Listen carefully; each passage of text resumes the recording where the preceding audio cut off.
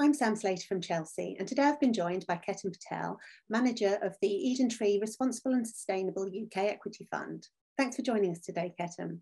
Thanks for having me on, Sam.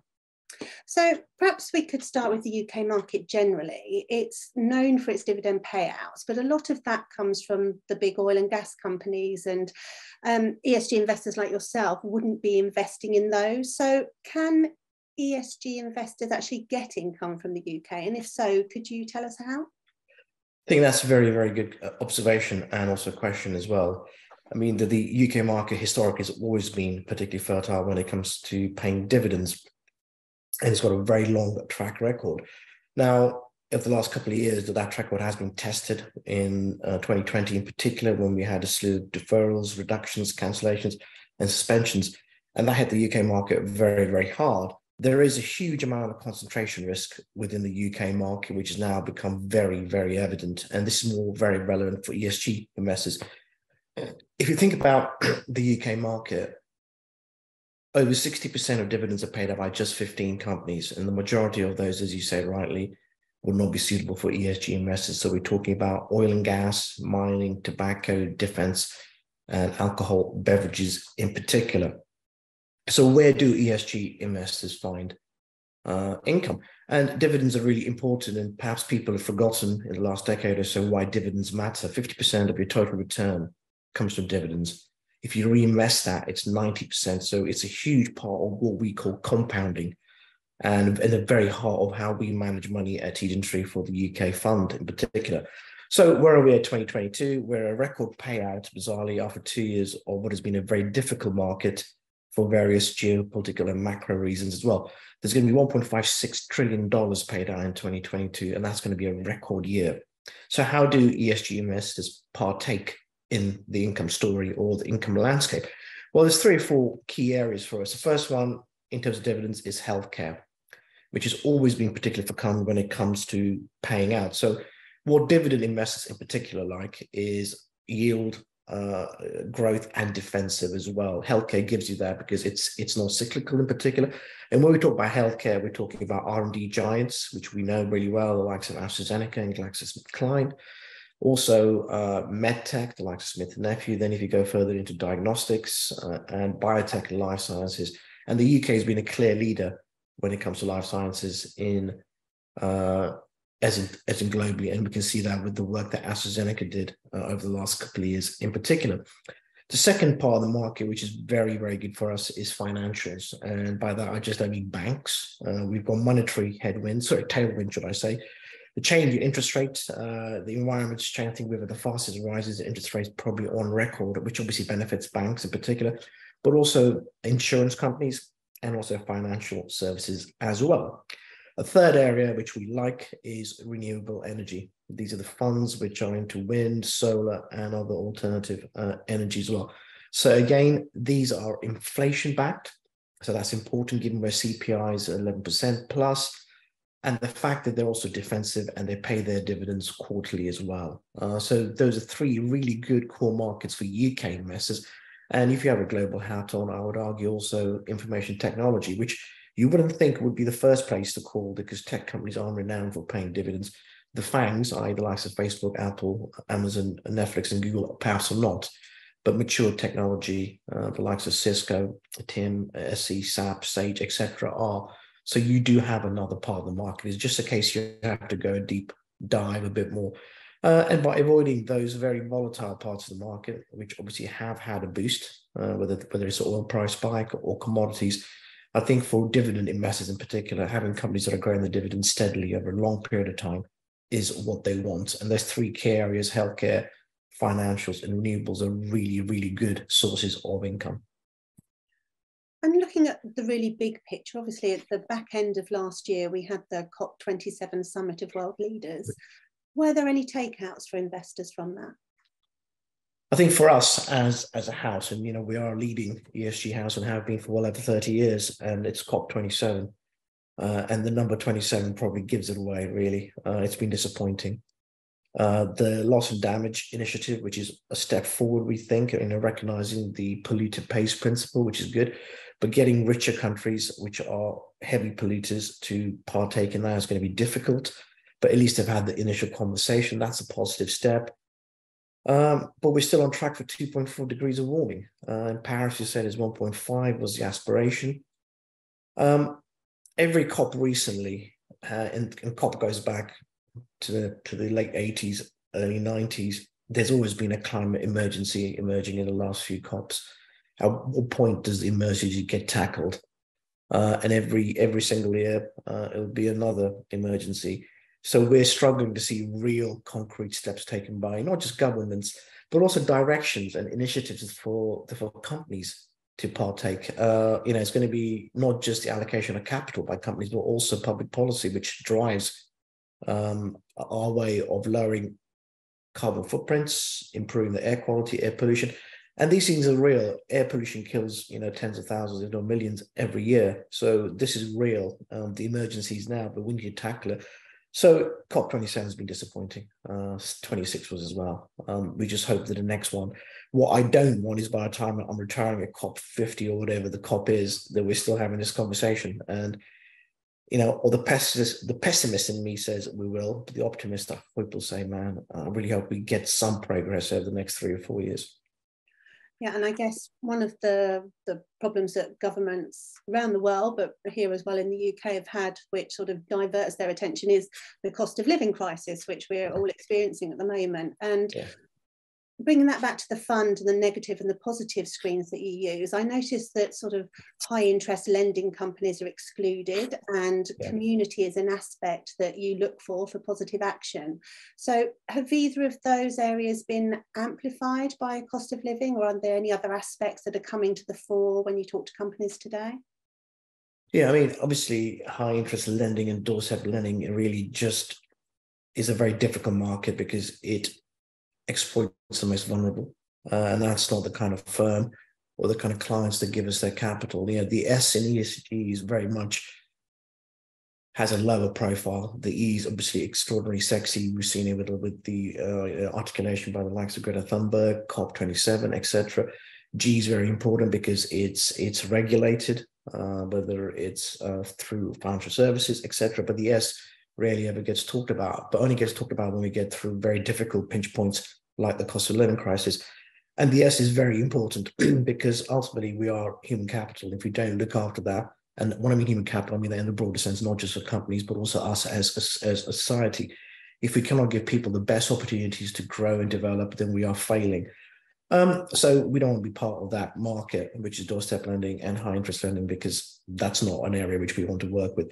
Where we are seeing some interest, and that's going to come through, I think, in the next year to maybe two years, is effectively people with mortgages, i.e., debt, um, credit card debt in particular, people who rent as well. So across everybody now, from home buyers, sorry, from owners, home buyers, etc., renters, they are going to get a pinch because one of the things which is difficult also I'd add utility companies here as well and banks have a very key part to play in how they handle their customers and their clients to ensure that they're given the best opportunity to actually work with them and to ensure what we don't have is this cascade effect where loads of people lose their homes or become homeless or cannot pay their bills or cannot heat their homes etc or can't even feed their um, or their or their families so banks will be very important government policy in terms of helping. So you know we would certainly look for the investors which we have in financial services and in banks and in utilities and see what are they doing rather than having a heavy-handed approach are they're willing to work with their customers and realize that this is going to be a tough one year maybe two year period. And to give you just some context if you look at the housing market in the uk now everyone assumes everyone has a mortgage they don't only 30% of households in the uk actually have a mortgage of which 80% are fixed and that's a good thing because they're fixed at a very low rate because we've had a dozen years of very low interest rates. And people at times forget about basic mathematics. If you borrowed money at 1.5% and when your fix comes off, and to give you some context of how many people are coming off a fix, 70% of that 80% book is coming off every quarter. Now, even, if you do basic math, seven times four is 28. By the time you hit 2014, 20, over half that book will have come off for refinancing not at 1.5, but probably around six or even four or five. So your thousand pound mortgage bill will become 3,000 or 4,000. And I don't think anybody out there in terms of normal people would be able to afford that, that loss of disposable income. Uh, I mean, mortgage rates may lower, but I think banks in particular are going to have to find ways either through interest only or giving people breaks. Or somehow there'll be a lot of innovation required by banks to ensure that they do not let people um, I forfeit on their actual mortgage debt. And same with renters as well. You know, these people need help at the right time. Same with paying your bills. So we are very much looking at the behaviors of financial services and utilities, and even I'll probably include telcos as well. You know, everyone forgets that uh, 20, 30 years ago, that your telephone was just a telephone. It's actually a lot more than that now. Uh, so yeah, there's a lot of challenge in terms of the consumer going out, but not just in 23, but also in 24 as well. So a lot of unknowns out there. And EdenTree carries out a lot of engagement with the companies they invest in and also companies they don't invest in. Yeah. Perhaps you could give us an example of um, some engagement you've had recently. Yeah, and I'll do one. I'll do a couple in the UK and one overseas, just to give you the context. We are obviously invested globally as well. The first one, engagement is not all just about nice things, you know, having high fives and saying, "Well done, Sam, you've done a great job."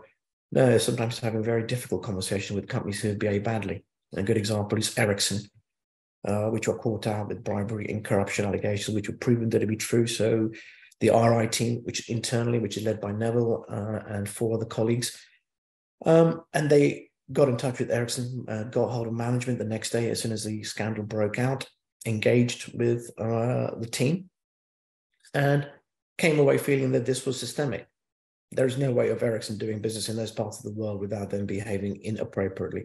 Now, that's our internal assessment, but that's what the clients pay us in terms of engagement, uh, voting, etc.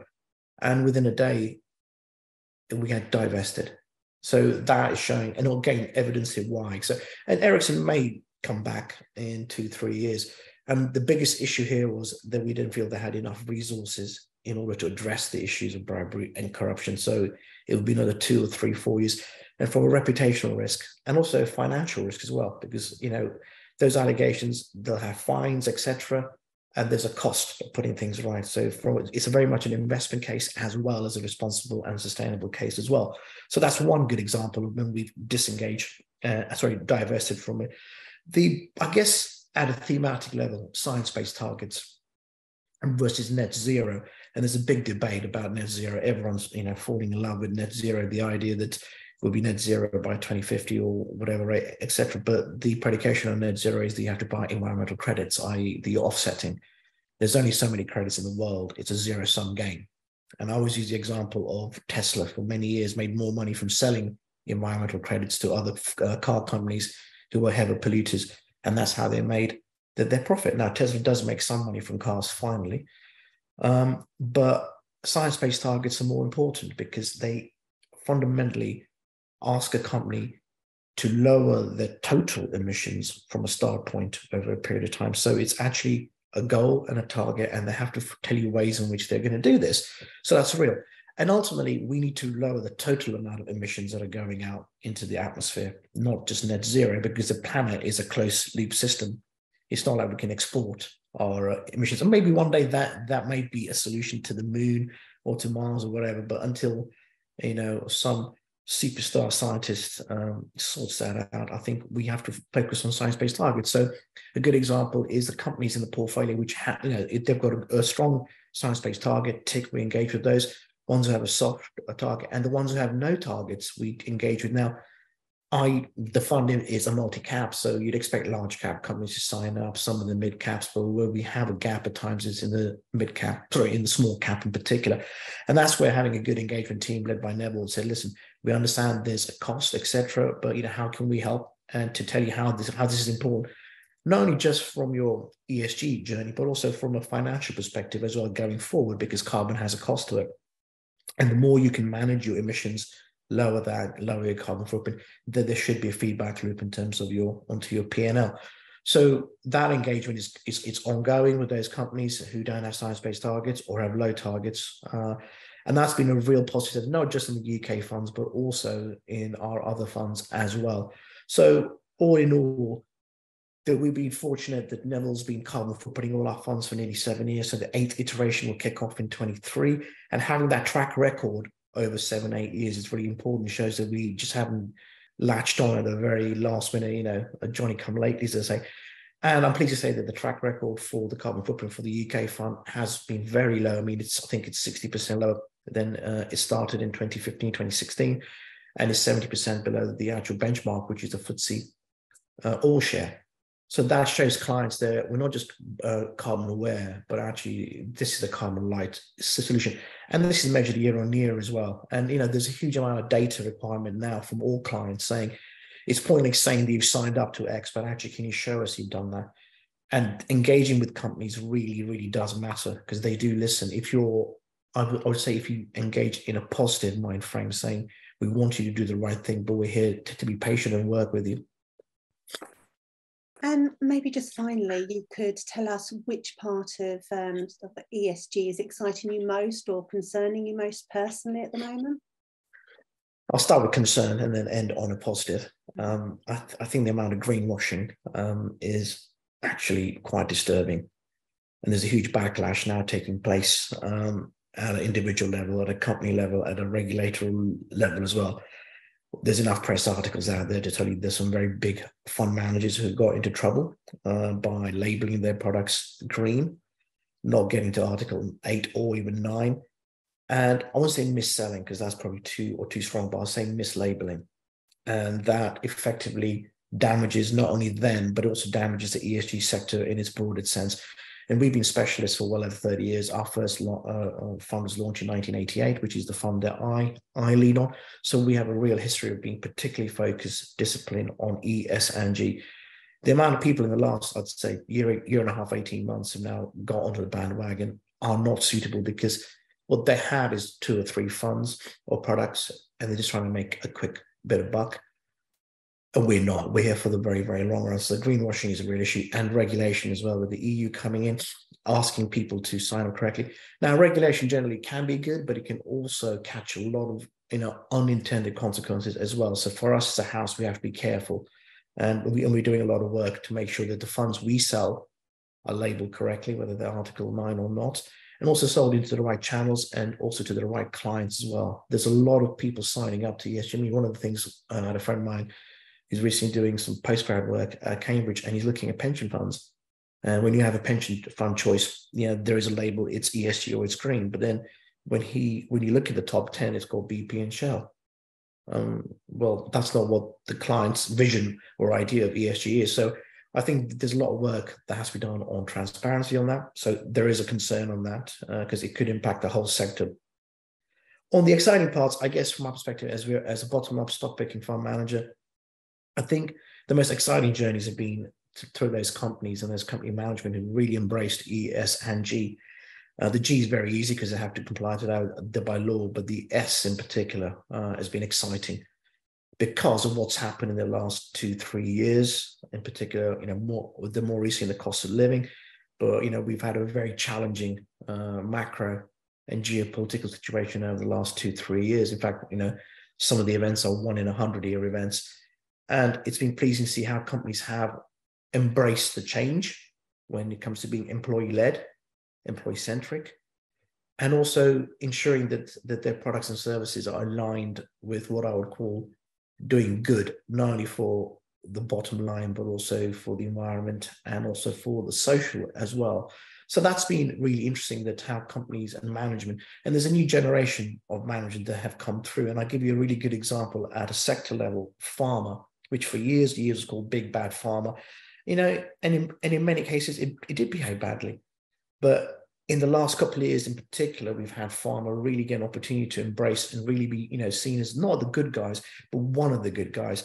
So really good examples here would be the change in management at all the big, large pharma companies recently.